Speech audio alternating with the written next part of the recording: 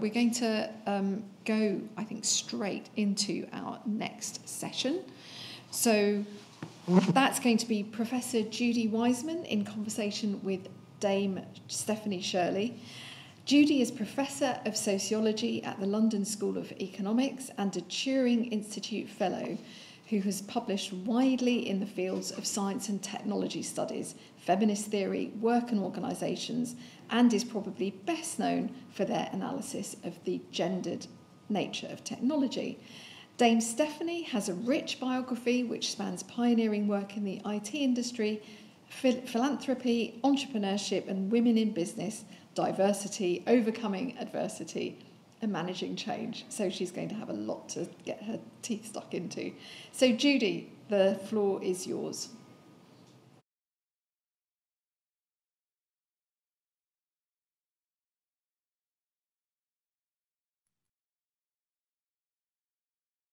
Um, right, so can you hear me? Yes? Right, okay, okay. Yes, thank you. Great. Okay, well, welcome everyone to this conversation with Dame Stephanie Shirley. Um, it's, it's just a complete honor and a delight to um, have been uh, given the, the opportunity um, to have this conversation, actually. Um, as was just said, um, Dame Shirley is a pioneer in the computer industry, a champion of women in work and business, um, indeed a feminist role model for me and for um, many, many people, and is also a leading um, philanthropist. And my name is Judy Wajcman, and I lead the Women in Data Science and AI um, project at the Alan Turing Institute. We're part of the public policy program. And our work is really addressing the lack of diversity in the AI industry, but also importantly, making links between that and um, the social biases that we're increasingly recognized um, as being embedded in a lot of artificial intelligence systems. We're going to start today uh, with Dame, um, Stephanie speaking for about 10 minutes with some um, reflections relevant to the themes of this conference. And then we'll come back and have a conversation for the rest of the time, which I'm really looking forward to. And I've got masses I want to discuss, so I don't know how I'm going to get through um, through half of it actually. Um, so over to you, Dame Stephanie. I reckon to be the oldest person here by some considerable margin. Age brings few benefits, but one is perspective. I've seen a lot in my time. I can look back and I can also look forward with the benefit of experience. But beware, the older I get, the better I used to be. When Mozart was my age, he'd already been dead for 50 years. I can't claim to have been a pioneer of computing like Alan Turing, but I was a pioneer of the computing industry. My fascination with computers dates back to 1954, the year Turing died. I was then a lowly scientific assistant at the Post Office Research Station at Dollis Hill, um, it sounds rather humdrum to modern ears, but at that time it was at the cutting edge of technological development. One summer, I spent my annual leave working unpaid at a rival research station run by the General Electric Company, where they were developing an early computer called the HEC 4. HEC 4 was a huge multi-part machine that, to the modern eye, would look more like a fitted kitchen than a forerunner of the personal computer. But I sensed it had immense potential if properly programmed. And in this, I was unconsciously echoing Turing, who first established the concept of the computer as a universal machine capable of tackling any task. In due course, I struck out on my own, founding a computer programming company, which, with great imagination, I called Freelance Programmers. And eventually, I became one of Britain's wealthiest women before becoming a venture philanthropist dedicated to learning to give money away wisely. Back in 1950, Turing famously said, we can only see a short distance ahead, but we can see plenty that needs to be done. Today, we may perhaps be able to see further. We have a better idea of what the enormous field he helped to found may be capable of. But unquestionably, there is still much to be done. Artificial intelligence was a theoretical concept when Turing first articulated his famous Turing test, a test of whether a machine could fool a human into thinking it was itself human. And AI today has entered the mainstream. Uh, it has applications in fields as diverse as health and data science, the military and gaming, autonomous vehicles, and social media. And over these two days, we all have the chance to learn more about AI and its applications, but also to stand back and take stock.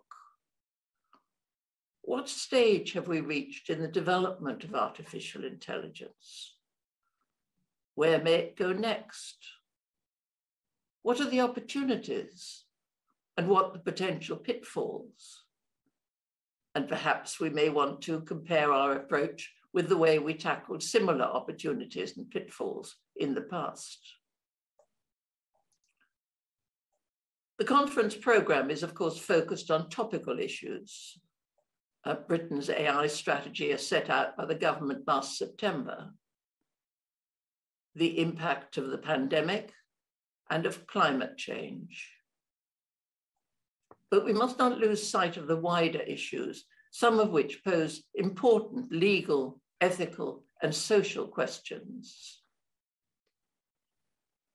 Is AI fulfilling its promise to increase efficiency and change the world?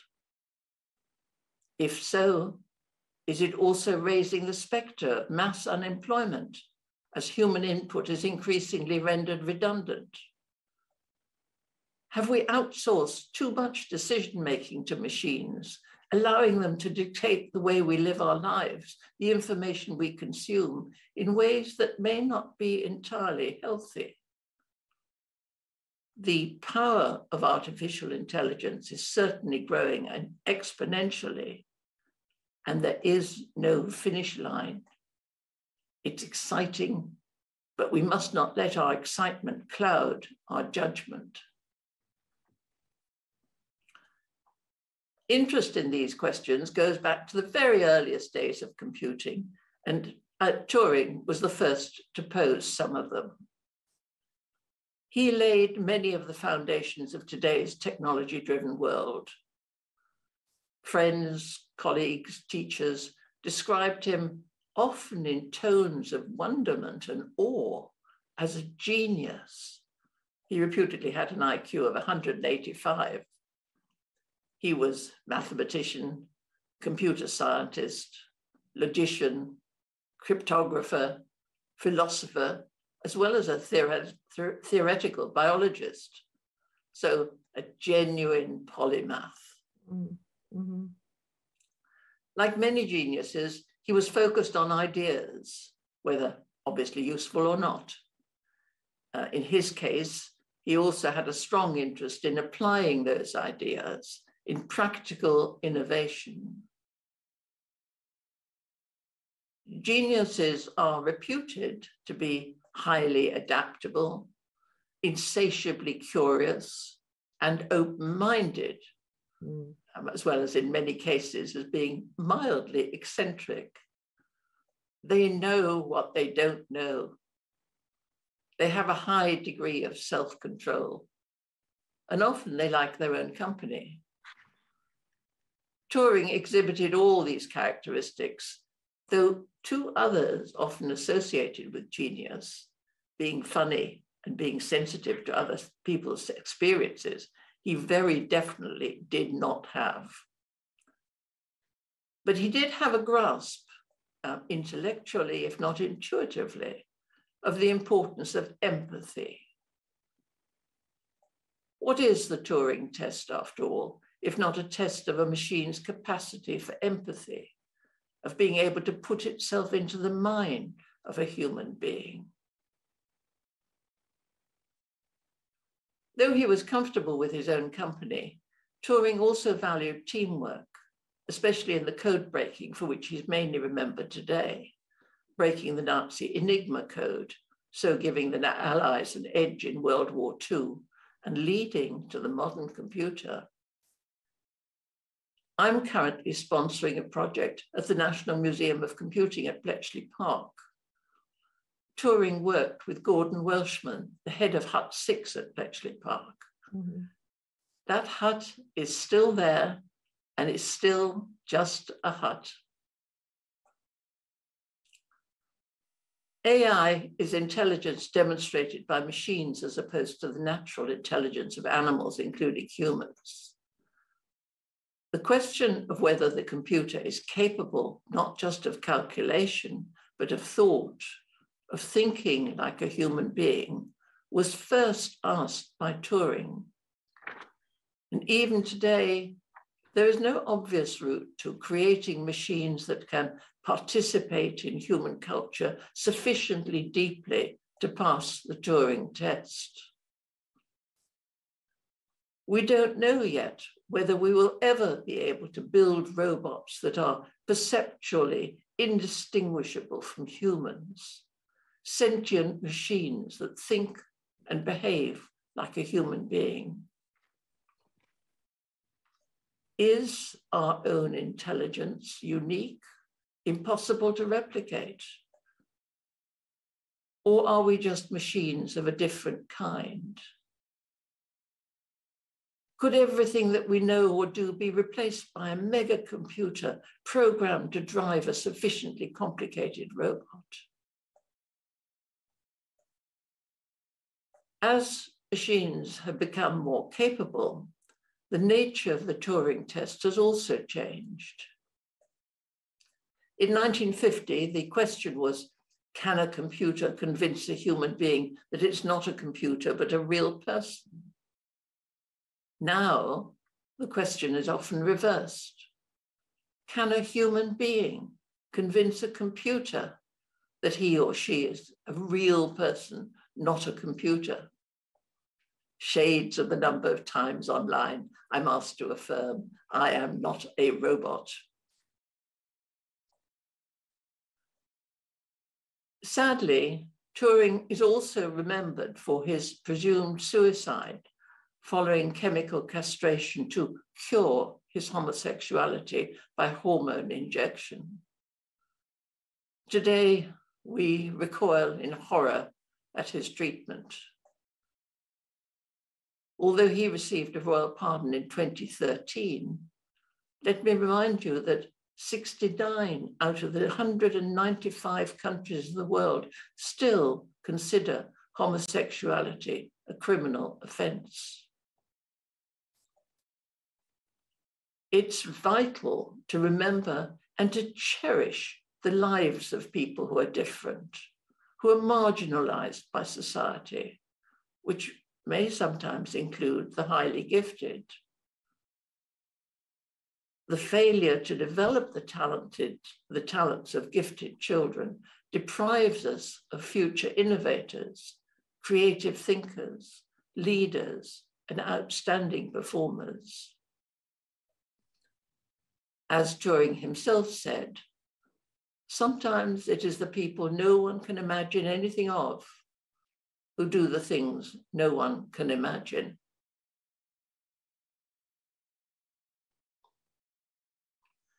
As a businesswoman, I can understand the potential of AI for companies and entrepreneurs of all kinds. It offers an immense competitive advantage. It can help us build more efficient and productive organizations and contribute to our bottom line. But there's more than one bottom line. There's the financial bottom line, which can be measured by improvements in productivity.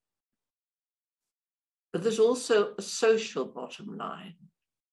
And here, as I've suggested, it's not always clear that AI delivers only benefits. And there's a third bottom line, measured by the environmental impact of an organization. And here too, the jury is still out uh, with the tremendous demands AI can sometimes make for energy and computing power.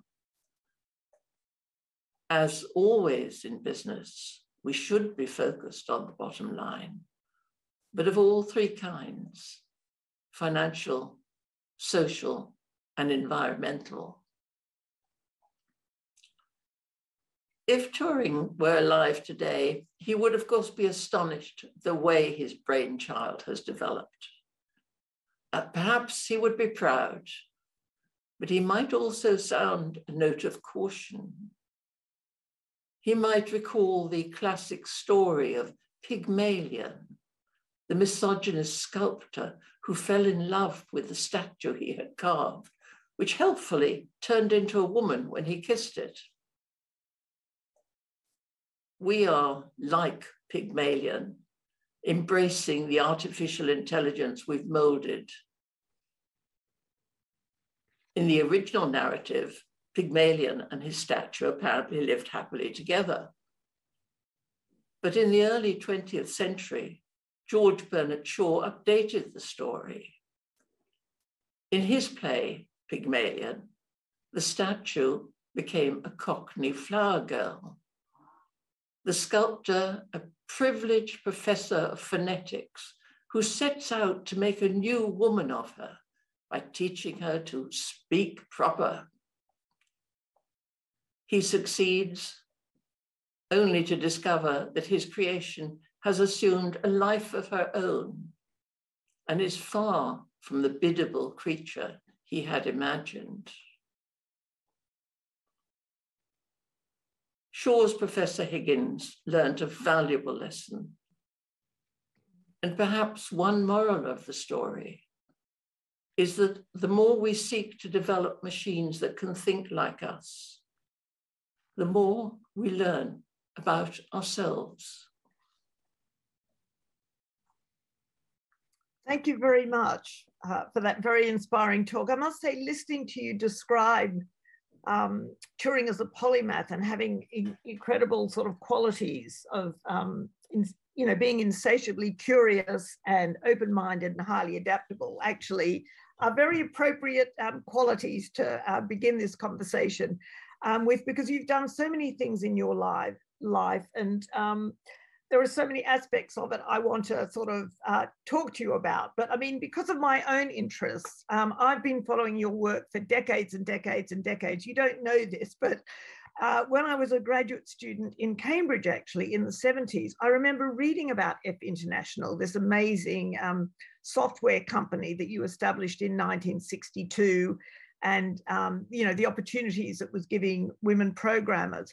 So I wondered if we could just uh, start with you telling us how that amazing project emerged, because you know it's at a time when there's very few women in IT, let alone taking on uh, leading positions, and you set up this incredible radical business model at, uh, um, at the time. And as I say, I, I remember reading about it because it was like this sort of pioneering iconic company that young feminists like me who were interested in gender and technology were, you know, really wanted to know about. And actually, my, you know, one of my great regrets in my life is that I was too shy to get in touch with you then in my 20s. I wish you had. I know, and um, interview you. So perhaps you could tell the audience a little about, you know, how that started. Women in the 50s and 60s were um, really second class citizens. Um, we were disbarred from most financial transactions um, certain activities were forbidden to us. We couldn't work on the stock exchange. We couldn't drive a bus or fly an aeroplane. Um, we couldn't open a, a, I couldn't even open the company's bank account without getting my husband's authorization. And that, to be honest, made me rather sort of irritable. Um, I felt that um, I had been patronized as a child uh, because I came to this country as a Jewish refugee um, I'd been patronized as a woman, and now um, this didn't seem to be getting any better. And so I'd set up my business not to make money, which is what most motivates most people, but very much as a social business uh, to um, really uh, set up a, a, an environment uh, in which I and women like me uh, would want to work. And whenever you survey women, what, what do we want from our work environment? Um, two things always come out, and that is um, uh, flexibility and mm. work-life balance. Um, and we offered flexibility in the extreme and work-life balance with home working. We were the pioneers of home working. Um, and um, we had quite a, uh, it was a tough time to start because people didn't take us very seriously. And so we made tremendous efforts to always be very professional, um, to make sure that the quality of our work um, re remained at a high level, um, irrespective of babies and other calls on our time and, and, and energies. Um, uh, to me, it was a very vital time. I felt the 60s were, uh, I was in tune with the 60s, with the vitality of it. I was inspired somewhat by the um, Black Power movement um, in the States, which I only read about. I never took an active part. Um, but I began to think, you know, there are better ways of running the world than having a two-tier social structure. no, absolutely. But I mean, I've read that you actually used to um, bid for projects on your kitchen table, you know, that your workplace was, you know, you were literally um, putting forward for these amazing projects for your table. And I guess I sort of think, you know, what confidence you must have had to set up something so radical. And I mean, I've read, as you mentioned, uh, that you were on the Kindertransport and, and you've talked about how that experience really has kind of shaped your attitude to business and life. And I wondered if you could say a little um, about that for us. I think it was the Jesuits who sort of said, give me a child until they're seven. Uh, in my case, it, I was five when uh, I was put on a Kindertransport train and shipped out to a new family, new country, new language, new food, new everything. Um, and that, difficult though it was, and it, it was horrendous really, and it was quite traumatic, um, it has given me enormous power lifelong because I realized that um, I had dealt with that change and yes, I, nothing else is, much, is going to phase me. Um, and I actually quite enjoy change. I like things to, to do things because they're new, and that's not a, a very good reason for doing them. But I, am always attracted to the new. Um, and that is powerful um, attitude uh, in the digital world. I also found that my life having been saved from Nazis um, I learned really far too early in my life, at six, seven, um, that I needed to make mine a life that was worth saving. And so I don't fritter my time away. I try to fill each day with meaningful activity. Um, and um, in, in my later years, I work entirely philanthropically. Yes, and I mean you've you've talked about and and um, you know in, in, your new book, so to speak, that I want to come back to. You you speak a lot about the um, discrimination uh, women in business experienced at that time, and you personally experienced. And I gather you took on the name um, Steve um, in order to deal with that. Perhaps you could tell people about that.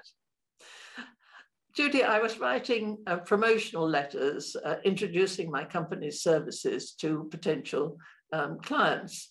And um, this was in the days of letters before the days of email. And I was pouring these out at about 12 a week, something like that. Um, and basically receiving no reply whatsoever. And um, my late husband um, suggested that I use the family nickname of Steve rather than Stephanie. Um, and um, so instead of having this double feminine, Stephanie Shirley, ah, I was yes. Steve Shirley. Um, and people began to answer my letters and I began to get meetings. I had a good story to tell, so the work began to come in. So it was quite important in giving this uh, facade just to get over the threshold. Yes. And I just wanted to last, lastly, uh, in terms of thinking about women in computing, ask you what, if you had any reflections on sort of the current situation. I mean, there's a lot happening in the area of women in STEM. You know, the government uh, have put, um, I read 23 million uh, into schemes and, and produced 2,000 scholarships for master's conversion courses. And uh, the figures in terms of diversity are, are terrifically good in terms of these scholarships. Apparently, three quarters of these scholarships went to women and nearly half to Black students. And, you know, there's a lot of great progress in, in, in many ways. But I have to say that we found uh, in our project that sort of translating the education and training into high level jobs in the industry is still quite uh, a problem. And that if you look at the figures of the number of women in data science, it's still only around sort of 20% in Britain and even fewer um, in machine learning. And, you know, what really strikes me is that we're often told that this is a pipeline problem. You know, those of us who've been around for decades know that, you know, this pipeline problem, you know, it, it's not a pipeline problem in that you get new fields. I mean, if you think about data science and machine learning, they're rather new fields, and yet we have a replication of these problems of a lack of diversity. And so I wondered what you thought about that in the current um, climate, if you think this is to, to do with sort of archaic workplace cultures or if there are other reasons really that we're still having this conversation in a way, you know, why are we still having this conversation in the 21st century about, um, you know, women in computing? Well, I try and cheer myself up by sort of thinking of some of the figures that you've quoted, um, which really show that there is an improvement. Yeah. There is, yes, there are more people coming out, there are more people entering the field. Um, but inside, I cringe because many of the questions being debated and discussed were there 50 years ago, and you would have thought they would have disappeared by now. The um, main change, I think, is that I was battling against legal barriers, um, the inability to, to do certain jobs and, and you know, you, you, were not supposed to work on the night shift. I remember breaking that rule many, many times. Um, rules that were, were, were designed in an age where women were very much considered um, the weaker sex and was done with, with some feeling of, of, of, of generosity. Uh, today, uh, women are, are, battling against cultural issues, uh, the culture of an organization where um, women's views are not um, valued, their views are sometimes not listened to, or if they're listened to, they're not heard. Um, and those cultural issues are going to take a lot more than, than a few billion. Um, and of course, it sounds a big number, but when you think of the potential of the industry, it's not really um, important in national terms. Great, thank you. I mean, we haven't got very much time left, so I absolutely want to move on to, to the amazing charity work you've been doing over the last uh, three decades, actually, um, on autism and, and IT. And I was very struck. I read your wonderful um, lunch in the Financial Times a few weeks ago, where you describe yourself, which I thought was a wonderful term, as a venture philanthropist. I thought that was, you know, terrific. And I just wondered um, if you could tell us about your sort of charities and the work you've been doing there. And, and I guess particularly for this audience, how your experience in computing has kind of fed into that uh, work on autism. Well, I concentrate on things that I know and care about, and there really are only two, and that is um, information technology, my professional discipline. I hope you noticed my blouse. I don't know if you can see it, but it has all um, binary tape on it all way.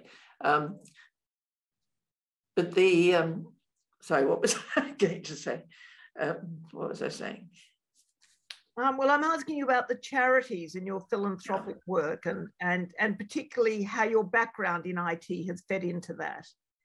Um, well, I've used um, virtual reality in training people to with autism to find their ways around a city virtual reality is also used um, in the school that I'm um, associated with um, to um, make sure that children that are really um, traumatized by, by dogs is the usual one, um, can be helped to face their fears, see a dog on a screen, very, very small.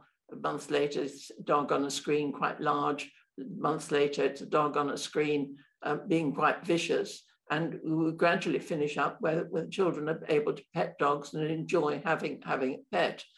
Um, so we also use robots as teach, teaching robots, uh, which are extremely, um, they're about the size of a two-year-old child, so uh, appealing to adults and not threatening to children.